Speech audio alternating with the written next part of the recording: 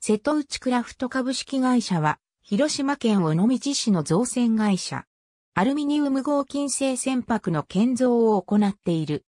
1944年9月に船舶偽装品の製造を目的として設立された山陽機械工業株式会社が母体である。山陽機械工業は1967年2月にスカイアルミニウムの技術協力によりアルミニウム合金製小型ボートの開発に着手。1968年9月には瀬戸内工業株式会社を設立して全事業を継承した。1970年12月、本格的なアルミニウム合金船である11メートル型交通艇、カモメを建造、以降、交通艇、警戒艇、監視艇、旅客船などを多数建造している。1980年7月に瀬戸内クラフト株式会社を設立、造船部門の全事業を継承した。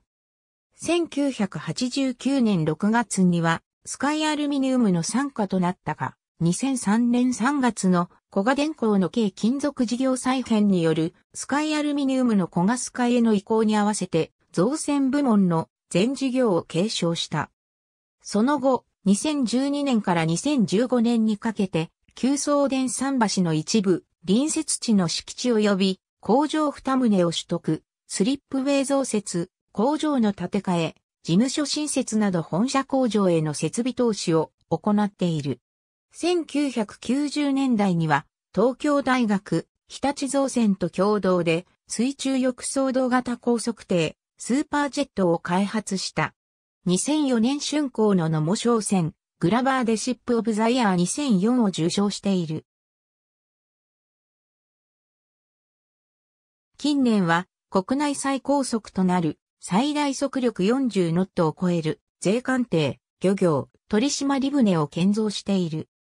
バンタン連絡機船、マリからンフラワーに関西急行フェリー、シワクに関西急行フェリー、フェニックスに三原観光機船、シャルマン、宗像市エイト船、潮風福岡市エイト船、金印早手海運、第18早手丸大津東巡港、鼓海、通みんな海運、ニューウィングミンナ本社及び工場は、向島の北東部に所在しており、尾道水道に面している。東側には、尾道造船向島工場が隣接する。ありがとうございます。